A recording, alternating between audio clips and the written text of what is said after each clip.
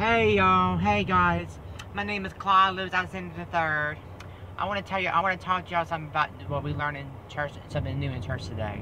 So this is my brother Paul. Say hey. Yep. Um, we're we're on our way to my mom's from Walmart because we were just looking something. I'm we were just looking at. grandma's too. My, my mom. Yep. Anyway, you know that um that Jesus is coming pretty that Jesus Christ is coming pretty soon. So we have to stay ready and stay be alert at all times. Because any time is not guaranteed. And they're right. Yeah. We have to stay ready, we have to stay mindful, and we have to we have to stay mindful and be good at all times. Only way to get to heaven is, is only way to get to heaven is to pray, repent, all everything you did in life, and you will be set free. Because I don't want to see anybody not praying. That's not what God's supposed to do. God's words, God's words are supposed to be forgiven for, for everyone.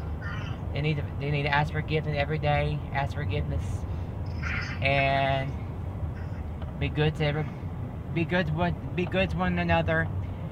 Love one another and obey one another and respect one another. Okay? Yeah. Because how you gonna how are you gonna not respect one another if you gonna if that person's gonna love you? Huh? They're not, are they? You have to be nice and be courteous to, to each other at all times.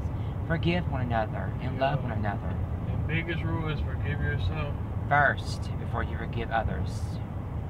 Yeah. That's true. That's real talk because if like you, I know ain't nobody perfect, No, only God is. but we try to be perfect. Yep. And I hate to say this, but it's the truth. I hate, I really hate to say this. This world that we're living in is not going to last that long. No, it ain't. You have to um, live for the Lord for daily, for a daily basis. Yeah. And if you go to church, I don't understand why church. You got churches. Why don't you go to church? Yeah. You should go to church. You should go to church.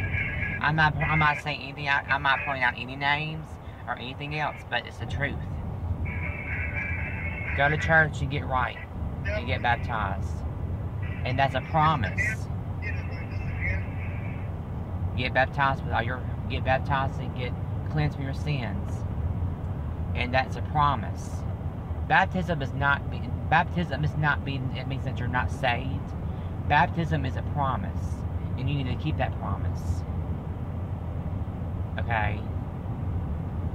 Only way to get to heaven to get, be saved is you gotta ask forgiveness and pray every, continuously every day. It doesn't matter if you're autistic or not. It doesn't matter if, you, if you're normal or mental retarded. You have to ask forgiveness every day. That go, that goes to everybody out in this world. That goes to all of us. Right? Nobody on this world has nobody on this world does have a free ticket. You have to work the harder for that ticket every day. Honestly. It's the truth. I'm not gonna lie to you. You have to work harder for that ticket every day. Every day. Just like just like I have autism, I had to work I had to do my part too. Just like my brother here is gonna do his part too, right? Yeah. Nobody in this world has a free ticket to go to heaven. You got to work harder for that ticket. And the more you go to church, the more you gonna learn for real. Yes. Yes. That's the true saying. That's the true saying. Welcome to the world. This world is not, this world is not gonna last that Let me long. tell you something. Do not love anything in this world. No. Don't love the world or anything in the world, but love each other. Love yourself first before you love others.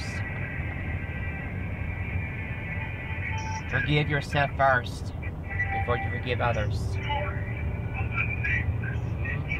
Yep. Anyways, nice talking to y'all. Please leave a comment and subscribe. Thank, I hope you enjoyed this video. It means a lot to me. Hope it means a lot to you too. Anyway, have a good day. Please leave a comment and subscribe. Thank you for watching. Bye.